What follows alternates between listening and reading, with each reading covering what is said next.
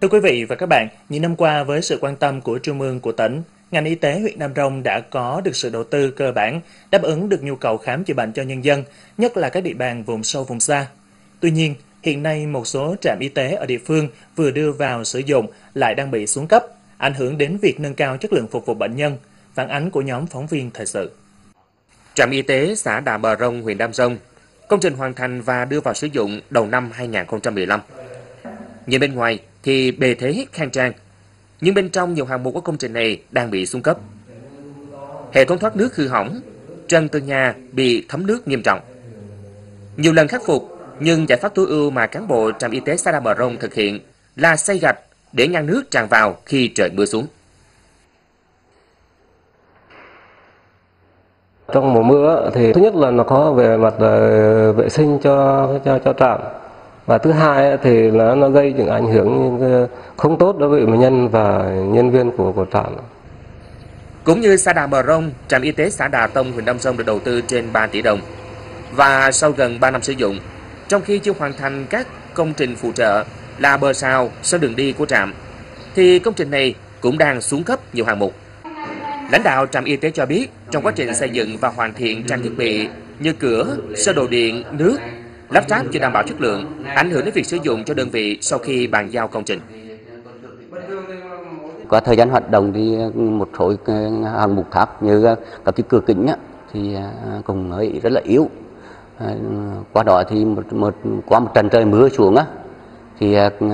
nó thẩm dột vào nước nó tạt vào các cái phòng ốc là nó có. Cả nhà thi công thì qua cái nghiên cứu thì em cũng chưa chưa được đảm bảo công trình mấy. Toàn huyện Đông Dông hiện có 8 xã với sự quan tâm hỗ trợ của nhà nước, địa phương đã đầu tư được 7 trạm y tế cơ sở. Việc đầu tư nêu trên đã có phần phục vụ nhu cầu và nâng cao chất lượng khám chữa bệnh cho nhân dân. Nhưng trên thực tế cho thấy, tuy mới được đầu tư, nhất là các công trình ở các xã như Đà Bờ Rông, Đà Tông, thì chất lượng các công trình là điều đáng bàn và đặt ra câu hỏi lớn trong việc quản lý xây dựng của địa phương. Chúng tôi trong cái quá trình à, à thi công giám sát thì, thì à, đối với à, liên quan đến chính quyền địa phương là không phải là người giám sát cái công trình này. Thì công trình này là do trung tâm y tế huyện làm chủ đầu tư. Nên là cái à, mọi cái quá trình giám sát thì đều thuộc về cái trạm à, trung tâm y tế huyện. Nên là à, chúng tôi chính quyền địa phương cũng nhiều lần kiến nghị à, tu bổ lại một số cái công trình đã hư như cửa với lại cái đằng sau thấm nước thì à, chúng tôi cũng kiến nghị thì đầu cũng à, vấn đấy thôi chúng tôi thấy là cái cái, cái trách nhiệm này à, là người à,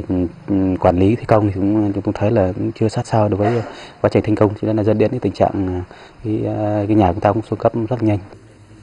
Chất lượng các công trình xây dựng phản ánh thực tế trong quá trình sử dụng bền vững hay không bền vững.